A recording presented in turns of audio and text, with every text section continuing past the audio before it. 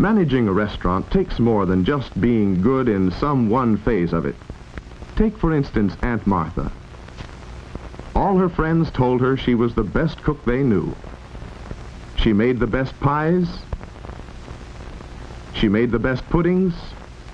And her muffins, mm-mm. Well, anyway, Aunt Martha decided to go into the restaurant business. So, she rented a vacant store, the first one she found, got busy and cleaned it up, got new furniture and spent plenty of money decorating the place, and soon Aunt Martha was ready for business. Ah, but business wasn't ready for Aunt Martha. The fact that the store happened to be on a quiet side street hadn't occurred to her. And neither had the fact that she didn't know how to plan her meals economically. In all, poor Aunt Martha wasn't making a go of it. And the worst of it was she didn't even know why. The fact was, Aunt Martha was no manager, even if she was the best cook in town.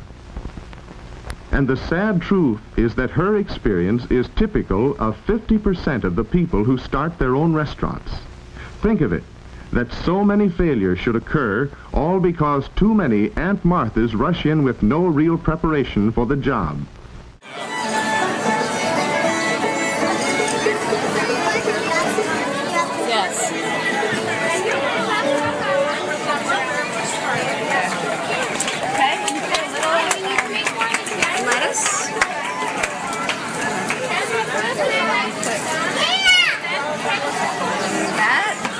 I'm having green carrot. These carrots are so wonderful. They are. There. So good. A little bit of scallion. A little bit of peanut. Is there anything, if you ever did this to somebody with a peanut allergy, is there anything else that works to replace it? I would just skip it, you know. Like one of my kids doesn't really like the peanuts. Um, I mean, you could try a different nut, but. So one of the this. It's cold. This, yeah, that's good. Wow. You want to make it or you want to stick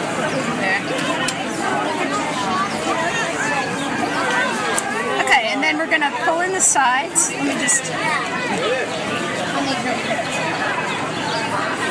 pull in the sides. Roll it up, just like that. so good.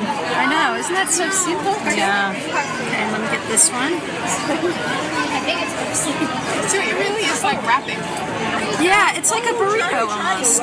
Yeah, you, you just do the two.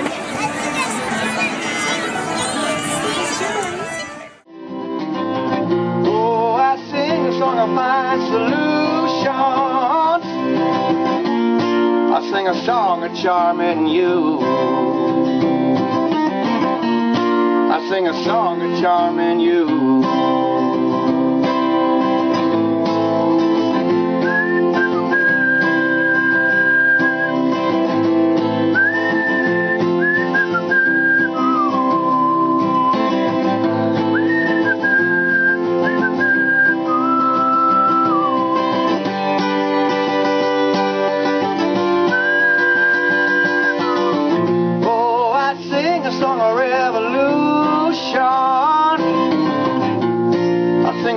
Of a world brand new.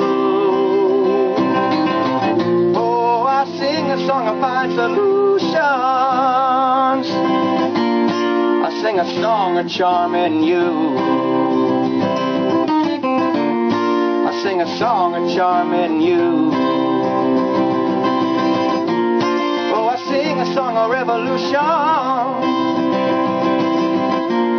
I sing a song of charming you. Yeah, I sing a song of revolution. I sing a song of charming you.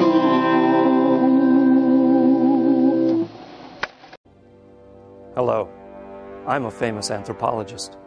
And this is the famous and mysterious Mayan calendar, which many people believe predicts the end of the world in the year 2012. But those people are stupid.